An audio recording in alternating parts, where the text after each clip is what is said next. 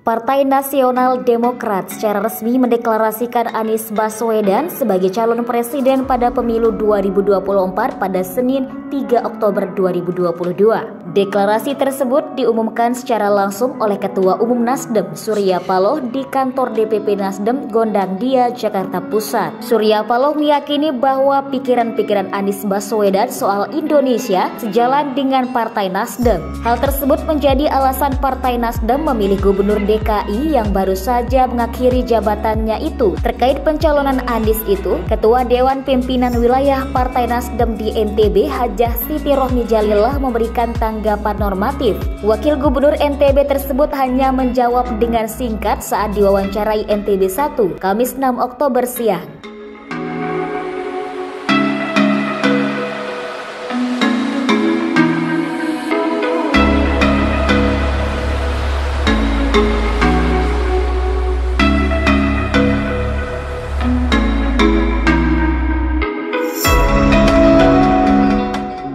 Kabar lain, setelah Partai Nasdem mendeklarasikan Anies Baswedan sebagai calon presiden pada pemilu 2024, terdapat sejumlah kader partai yang seketika mengundurkan diri lantaran merasa tak lagi memiliki kesamaan visi dan misi. Apakah gejala tersebut akan turut terjadi di NTB?